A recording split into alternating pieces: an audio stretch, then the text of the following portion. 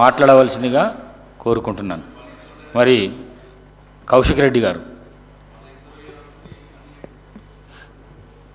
మీరు ఇయ్యలేరు మేము ఇస్తాం. మొట్టమొదటిసారి అసెంబ్లీలో మాట్లాడిన మాట్లాడే అవకాశం ఇచ్చిన మీకు మరియు నేను అసెంబ్లీకి రావడానికి కారణమైన మా గౌరవ బీఆర్ఎస్ పార్టీ అధ్యక్షుడు కే కేసీఆర్ గారికి హుజరాబాద్ ప్రజలందరికీ కూడా నా ప్రత్యేకంగా ధన్యవాదాలు తెలియజేస్తా ఉన్నాను. అధ్యక్ష మా హుజరాబాద్ నియోజకవర్గంలో దళిత బంధు అనే పథకం శాచురేషన్ మోడ్లో దాదాపు పద్దెనిమిది వేల ఇరవై ఒక్క మందికి హుజరాబాద్ నియోజకవర్గంలో ఇవ్వడం జరిగింది. దీన్ని దాదాపు గ్రౌండింగ్ కూడా అయిపోయినాయి. కానీ రెండో విడత దళిత బంధు అనేది ఆపుతా ఉన్నారు అధ్యక్ష. ఇది దాదాపు రెండు వేల ఎనిమిది వందల మందికి అధ్యక్ష.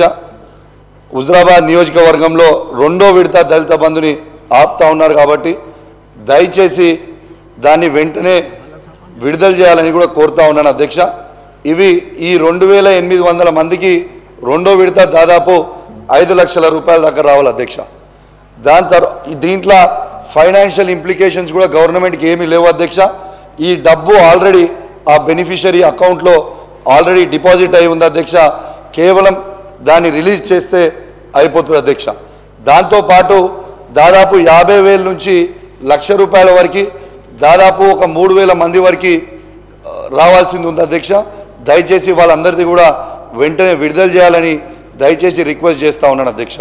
ఎందుకంటే నిన్నగాక మొన్న ఈ రెండో విడత రా రాదేమో అని ఒక ఆందోళనతోని ఒక పేద దళితుడు శ్రీనివాస్ అని అమలా అని ఇద్దరు ఆత్మహత్య ప్రయత్నం చేశారు అధ్యక్ష.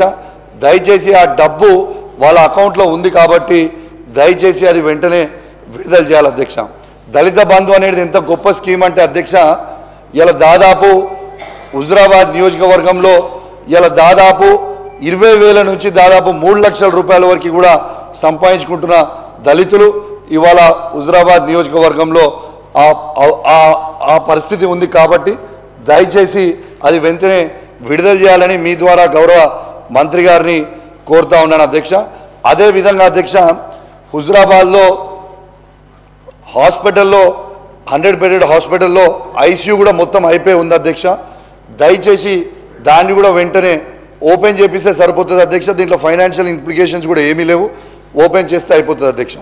ఇంకోటి అధ్యక్ష ఈ చివరి ఆయకట్టుకి కమలాపూర్ మండలంలో మా శనిగరం గోపాల్పూర్ మాదనపేట అని చివరి ఆయకట్టుకి ఉన్న ఊర్లకు కూడా రైతులు ఇబ్బంది పడుతూ ఉన్నారు కాబట్టి ఈ ఆ నీళ్ళని కూడా చివరి ఆయకట్టుకి అందేలాగా మీరు కొంచెం దయచేసి అధికారులకి చెప్తే బాగుంటుందని కోరుకుంటా ఉన్నాను అధ్యక్ష.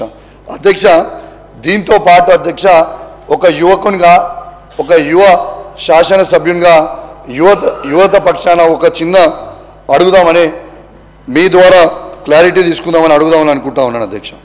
అధ్యక్ష పదే పదే గౌరవ ముఖ్యమంత్రి గారు పిసిసి ప్రెసిడెంట్ ఉన్నప్పుడు పదే పదే కేసీఆర్ గారి ప్రభుత్వం ఒక్క ఉద్యోగం కూడా ఇవ్వలేదని చెప్పారు అధ్యక్ష. కానీ అధ్యక్ష ఒక్క నిమిషం అధ్యక్ష. లక్ష అధ్యక్ష ఒక్క నిమిషం. అరే అధ్యక్ష ఒక్క నిమిషం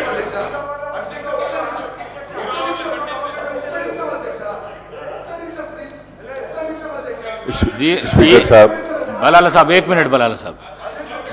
జీరో అవర్ల కానిస్టెన్సీకి సంబంధించిన సమస్య చెప్పండి. ప్రసంగాల కోసం జీరో అవర్ కాదు ఇది. మాట్లాడు. అధ్యక్ష వన్ మినిట్ ప్రతిదానికి లేవకండి మీరు దయచేసి. అధ్యక్ష గౌరవ ఆ రోజు తెలంగాణ తొలి ముఖ్యమంత్రి అయిన కేసీఆర్ గారు లక్ష అరవై వేల ఎనభై మూడు ఉద్యోగాలు ఇచ్చింది కూడా యావత్ తెలంగాణ ప్రజలకి తెలంగాణ యువతకు కూడా ఈ అసెంబ్లీ ద్వారా తెలియజేస్తా ఉన్నాను. మీరు పదే పదే ఉన్నప్పుడు మీరు జీతాలు వేస్తున్నాం వేస్తున్నాం ఫస్ట్ క్లాస్ సెకండ్ థర్డ్ అని చెప్తా ఉన్నారు అధ్యక్ష. మరి లక్ష అరవై వేల ఎనభై మూడు మందికి మీరు జీతాలు వేస్తున్నారంటే ఈ ఉద్యోగాలు కేసీఆర్ ఇచ్చినట్టే కదా అధ్యక్ష. నిన్న కూడా మీరు ఇచ్చిన పదిహేను వేల ఏడు వందల యాభై ఉద్యోగాలు ఆ ఉద్యోగాలు తెలంగాణ తొలి ముఖ్యమంత్రి అయిన కేసీఆర్ గారు ఇచ్చింది. మీరు పత్రాలు ఇచ్చినందుకు కూడా మా ప్రత్యేకంగా ధన్యవాదాలు అధ్యక్ష.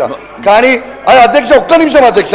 కానీ కానీ అధ్యక్ష దీంతో పాటు అధ్యక్ష మా రెండు లక్షల ముప్పై రెండు వేల మూడు వందల ఎనిమిది ఉద్యోగాలు కాకుండా అదనపు రెండు లక్షల ఉద్యోగాల జాబ్ క్యాలెండర్ మీరు విడుదల చేయాలి ఇలా కేసీఆర్ గారు ఇచ్చిన ఉద్యోగాలు మేము ఇస్తున్నామంటే మీరు క్రియేట్ చేసి ఇవ్వడం కూడా కరెక్ట్ కాదు మీరు దయచేసి అదనపు రెండు లక్షల. ఉద్యోగాలు ఏవే ఒక్క